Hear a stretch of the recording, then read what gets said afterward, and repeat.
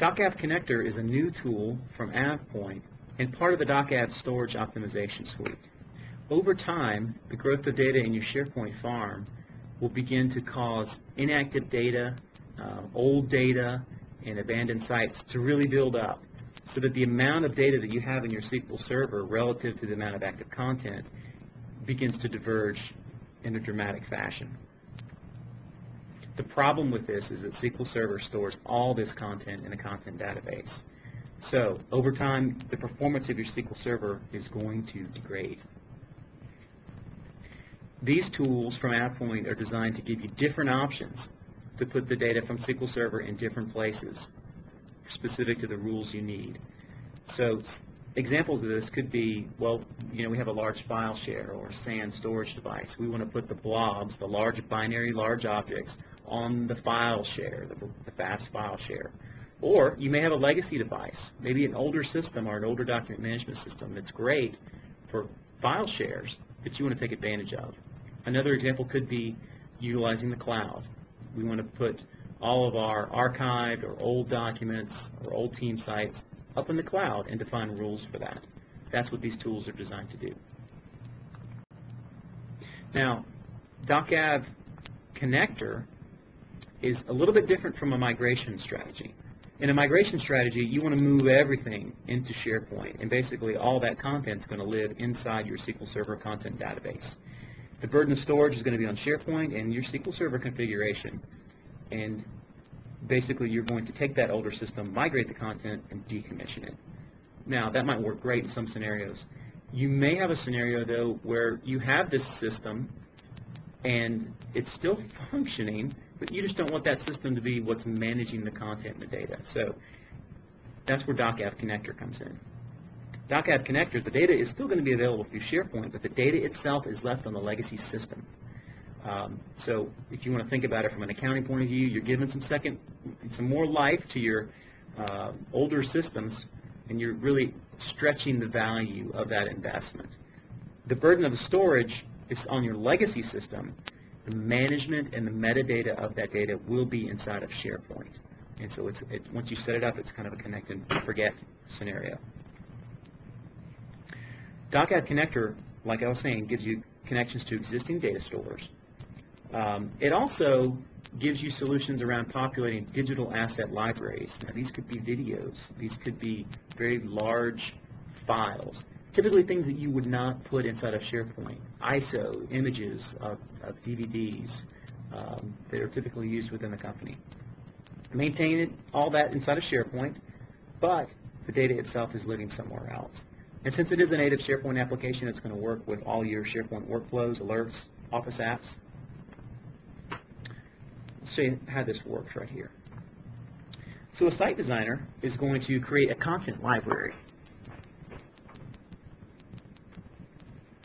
And they're going to synchronize the content library with some kind of file storage or cloud storage where that data lives.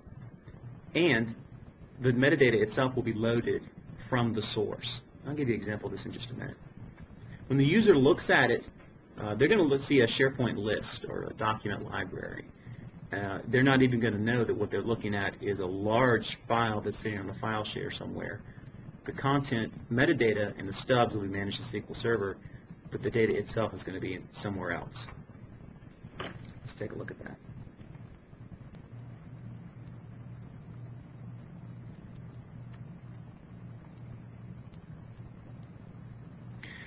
So here I have my portal, and this is under the consulting portal inside of, of Eastridge for our consultants. You can see I have a document library here called ISOs. Now, these are actual DVD images of disks that we use a lot whenever we rebuild a system or maybe build something for a customer. Things like BizTalk, Project, SharePoint Designer, Visio, um, SQL Server 2008. If I click on this folder, I'm going to click on the SharePoint folder. Well, here's the Office Professional 2007 folder. You see I have two ISOs out here, uh, and they're pretty large. One is 420 meg, and the other one is 573 meg. Um, typically not things you would put inside of SharePoint, and we haven't. all we have here is the metadata for these documents. The actual documents themselves are stored on a file share. Let's see if we can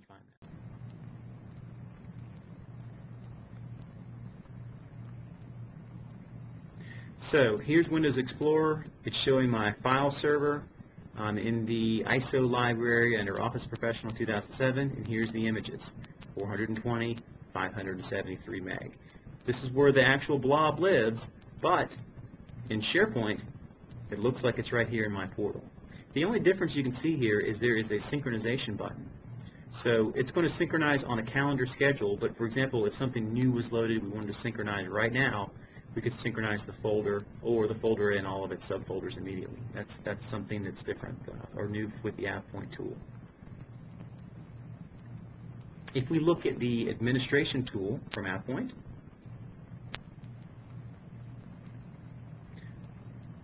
under storage optimization, I have the connector option here.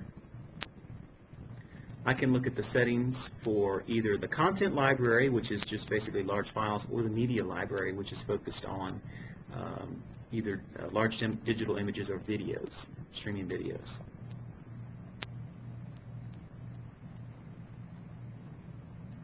We have some settings in here um, re- related to the name of the document library that we're mapping to. In this case, it's the Eastridge ISO library. And then we can set up specific functional settings, properties, um, and then actually specify security mapping for um, different users if it's different from the security settings that we're trying to uh, enforce inside of SharePoint. Notice also there's a cloud storage settings tab right here that I don't have turned on immediately, but basically you would set up a profile for something like Rackspace. In fact, Rackspace.com has a built-in um, integration with the AvePoint tools, so it's very slick and straightforward to integrate with the Rackspace.com.